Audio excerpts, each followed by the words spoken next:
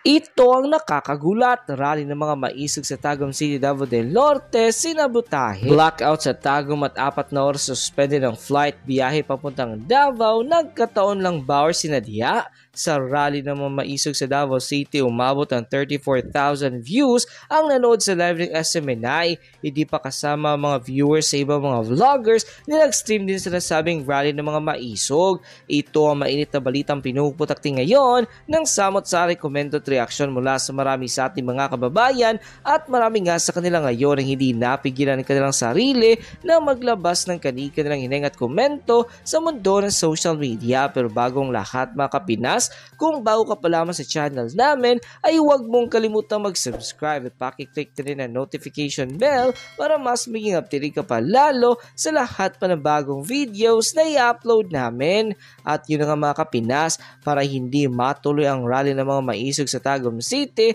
sinuspindi nila si Governor na walang iba kundi si Edwin Obahib pero hindi sila nagtagumpay dahil ito ang kuha sa mga rally ng mga maisog kamakailan lamang nang gigil si Maharlika dahil sa ginawa ng kasalukuyang administrasyon na pinamumunuan ni Pangulong Bongbong Marcos Jr.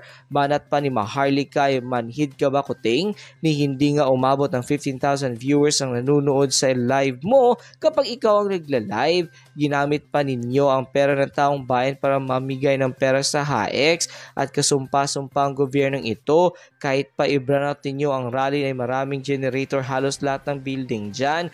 That is why Pangulong Bongbong Marcos Jr.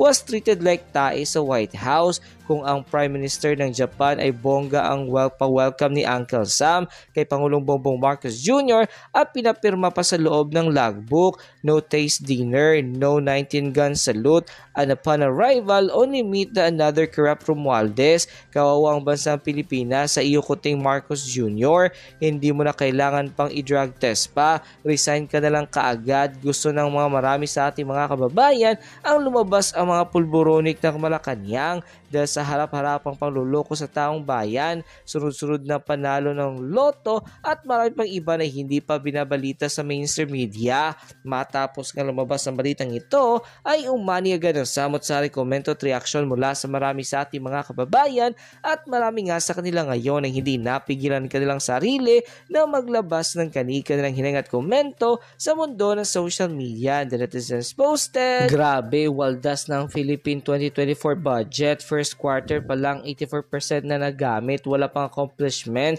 nireposit ng isang bansa. Kawawang Pilipinas kay Marcos Jr., part 2 ng Marcos Sr., walang hiya, walang malasakit sa bayan tama AFP at PNP kung may pagmamahal po kayo sa bansa natin at ang sinumpa ninyo na protekta ng mamamayang kumilos na po kayo ngayon Sobrang nakakahiya at sama ng loob ang nangyari sa bansa under the leadership of Marcos Jr. Pinakamasamang administrasyon ever in the Philippine history. Prayers the key. Wala talagang puso basta bangag, malupit at manhid na yan. Best talaga dyan patasikin na agad at kumilos ng matitinong men in uniform at protect our fellow Filipinos. Pwede ba bubungbong Marcos, mag-resign na po kayo at di nyo nariresolba ang kahirapan ng bayan? Kawawa po kami na mahihirap, resign na po kayo. Nako, nakakapagod na bali-balita. Dapat patasikin na silang lahat sa Senado. Kahit ano ang mga pag-ating putak-putak mo dyan, parang bingi-bingyang Senado. End quote. Northern Davao Electric Cooperative Incorporated. Basahin ko. Okay, basahin niyo muna. O, ayan. Right? Basahin ko ng bunga-bunga. NGCP unscheduled power interruption affecting Nordeco. April 14, 2024. At 11.30 a.m. kanina dyan, NGCP Tagum Line tripped off. Ongoing line survey is conducted by NGCP crew. Etong kajutahan na ito ay sinadya ng mga ginayupak para mainitan, mawala ng power supply ang Tagum area. Gaano ka demonyo, kahayop, kabangag, kasatanas ang mga ginayupak, kamapya ito na dahil dahil may nagrarally, i-off nila ang supply ng kuryente without thinking na mayroong nagninebulize na mga bata na may asma at mga matatanda, mayroong nagbe-ventilator, maaapektuhan ang mga ospital. Ito yung example ko kanina. maapektuhan ang negosyo ng mga taga Davao kung sila ay gumagamit ng, well, lahat gumagamit ng kuryente. Imagine nyo kung ilang milyon ang pipinsalain ng kabjotahang kabangagan ng gobyernong ito dahil galit sila at ayaw nilang mag-rally which is nasa konstitusyon natin, nasa Bill of Rights ang freedom to assemble. Pero dahil diktador, demonyo lahat, itong mga ginayupak na ito, hindi nila inalintanang pata, gorgorin ang power supply para lang hindi matuloy o pahirapan ang mga nagrarally sa maisog. Ibig sabihin mga kababayan, kung ganito ang presidente ninyo, ganito sila dame yung pulboronic. Wala silang puso, walang habag dahil hindi nila inisip mga kababayan, ang mga taong nasa ospital, ang mga taong nagtatrabaho na ma-stop nila o ma-delay ma, ma nila o mapinsala nila ang negosyo. Ibig sabihin, mga palangga, okay? Ang ibig sabihin nito, mga kababayan, ayaw nilang marinig ang ato ang ting tingog, ang aton mga tingog, na the only hope, the only weapon we have is our voice at gusto nilang supilin, patayin ang mikropono, patayin ang sound system, gorgorin ang electric uh, power para mainitan kayo.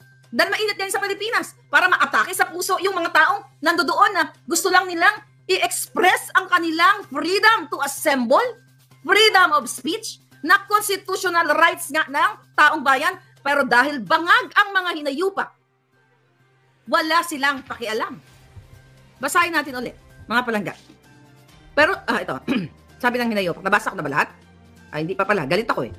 At 11.30 a.m., NGCP Tagum Line trip off. Ongoing line surveys conducted by NGCP crew. Affected areas, whole area of Tagum City. Portion of Mako o Mako. How do you pronounce Mako? Pingi, Iho, Dumlam, Lapu-Lapu, and Libay-Libay. Please be informed that this interruption is not the intention and beyond the control of Nordeco. Tangina nyo, very defensive. Ang bubobo talaga ng mabuha ka ng... Alam nyo, pag bangag-bangag talaga eh. Bangag talaga eh. You know? Defensive kayo. Ano to, nagkataon lang?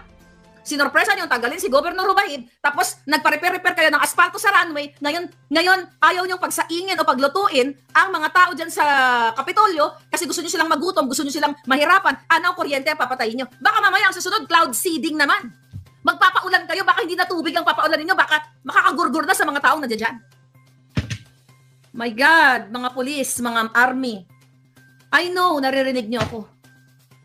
Kailan kayo po, ako I will res- still respect you people, mga army, kasi eh, alam ko hindi kayo, ma- hindi, kukunti lang ang bulok sa inyo.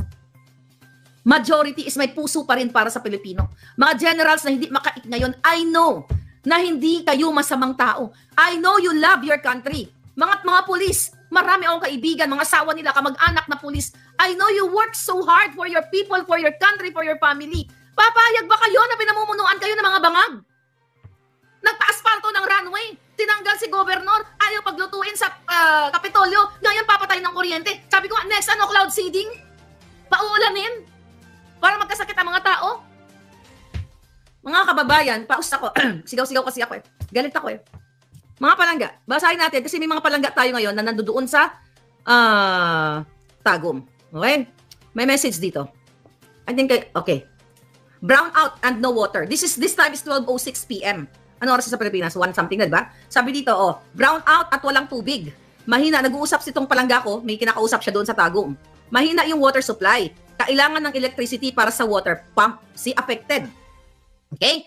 Notice from Northern Davao Electric Cooperative. Ayun nga yung binasa ko kanina. Excuse me. Okay? Hanggang kailan ito? Okay, sabi ko usap just now. Grabe, sobra. Sobra na ang pagigipit nila. Dictatorship na ang nangyayari sa ating bayan. Mga palangga. Grabe ang kahayupan ng gobyernong ito. Okay? Tingnan natin mga message. Hi Z, how are you palangga? Ah, nanonood si palangga ngayon. Sabi dito, o Jutang Jinines, palangga maharlika, grabe na ang ginagawa ng gobyerno ni Kuting. Kaya ang sagot ko nga, oh my God. Ngayon mga kababayan, Okay. Ano gagawin nyo ngayon?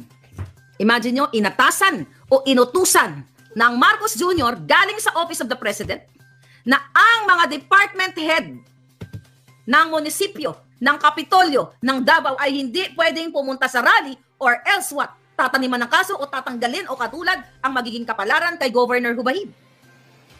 Talaga bang papayagan nyo to? Ha, Pilipino? Ma- ma- masala kayo sa ganito? Natutuwa kayo? Kayo men and women in uniform? Kayo mga tao sa gobyerno? Kayong mga Pilipino lahat? OFW saan man kayo? Papayagan nyo to na magtuloy-tuloy to hanggang Pasko? Na kapag trip nila, papatay nila yung kuryente kahit may mga taong nakaasa sa kuryente, nagbi-ventilator? Alam niyo naman sa atin ang init-init, papatay ng kuryente kayo, buong tagong? Baka nga may nangamatay na ngayon dahil sa sobrang init. Pati ospital, papatayin nyo ng kuryente. Kasi when you say buong tagong, lahat damay, mga ospital, hotel, lahat. Kasi hindi naman pwede nila patayin lang yung venue ng maisog rally. Kasi obvious na obvious. So gagawa sila na kunwari, sabi nga nila, hindi daw to intention, papatayan ng mga, sabi ko nga kanina, ilang milyon o maybe billions ang mawawala sa mga negosyante. O dun sa mga nasa palengke. Nasa simple mga kar- karinderya. Di ba? Mainit. Imagine mo tong hayop na kuting na ito. Tapos ang utos gawin lahat ng paraan ng, ng mga PNP. Alam ko yung mga PNP doon napipilitan lang sila. You know what? Kayo mga kapulisan, mga kusunduluhan, kung kayo lahat ay hindi susunod sa isang bangag, alangan man tanggalin kayong lahat. Sino matitira? If I were you, hindi kayo susunod sa isang bangag na silang Dameo. Dahil siya ay kasabwat ni Lisa, ni Marcos Jr., mga jutang din sa mga yan, mga gonggong.